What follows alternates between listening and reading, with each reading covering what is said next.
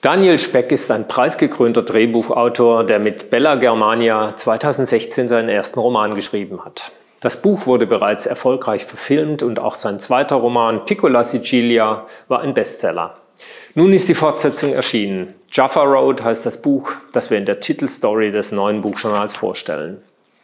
Es geht um den Exildeutschen Moritz Reinke, der in seinem Haus in Palermo erschossen aufgefunden wird. Seine deutsche Enkelin Nina, die in Berlin lebt, und seine israelische Tochter Joelle reisen nach Italien und treffen zu ihrer Überraschung auf den Palästinenser Elias, der auch gekommen ist und behauptet, der Sohn von Moritz zu sein. Die drei beginnen das Leben des Verstorbenen und das Geheimnis ihrer Familiengeschichte zu ergründen. Moritz Leben ist wie ein Brennglas, in dem sich das Schicksal des Nahen Ostens spiegelt, und seine Nachkommen müssen alte Feindschaften überwinden, um eine gemeinsame Zukunft zu finden.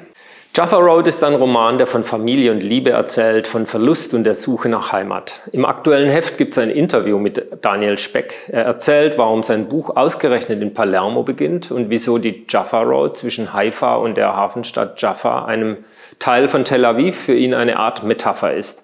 Speck verrät, was ihn an der Familiensage gereizt hat und was Heimat für die Protagonisten seines Romans, aber auch für ihn selbst bedeutet.